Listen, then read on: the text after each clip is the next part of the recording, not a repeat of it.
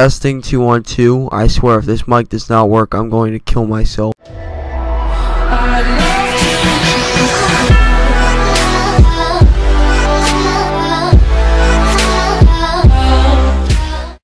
Alright, well as you guys can tell, of course my mic did not work and now I'm recording this all over again. I literally had a nice 22 minute video and maybe after I cut it up it would have been like around like 6 minutes because I did do a lot of talking in it. But no, it just has to be freaking retarded. But anyways, we're just gonna make it so that, you know, it's gonna be that long again. So uh, here we go. So if you guys didn't realize, I actually just pranked you by saying that I was gonna post the Q&A video today. No, I'm just kidding, but really I did say that I was gonna have the Q&A video up today. But you know, with me being retarded, I barely had any time to like actually do the Q&A so it's gonna go up my next video after this one. And I promise it's going to go up after this one. Like, literally, when I first looked at all the comments for the Q&A, I literally shit myself. Like, literally, there were more comments than the amount of chicks I dated in my lifetime. Oh, wait, I just realized I don't pick up any chicks. No, but, like, seriously, there are so many comments there, and hopefully, you know, I can just go through all of them in one video. So, judging by the title of this video, it's probably gonna be, like, sick studio hit marker or something like that. But I might as well just show you guys it, so, uh, here you go. Well, unless you just don't want to see it, but... Alright, ready? Three, two, one...